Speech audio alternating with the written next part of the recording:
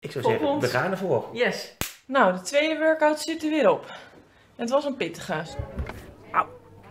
Beetje spierpijn. Lekkere dingen liggen dan op de loer. Dus er is wel een chocolaatje ingesneakt. En ik zag dat er al 1,7 kilo af was. Aanbelande week 5. En dat is niet alleen oefeningen. Maar dat is ook eten? Absoluut. Voeding is heel belangrijk. Kijk eens waar wij allemaal lekker van smullen. Van de pannenkoeken surprise. Weer een lekkere circuittraining voor de boeg. Burpees en ik, wij zullen nooit vrienden worden. Ja, dat was het dus. Acht weken lang afvallen. Ik ben ongeveer 4 kilo kwijtgeraakt en Laura bijna 6 kilo. Maar wat niet onbelangrijk is, kijk eens even hier. Een gaatje kleiner.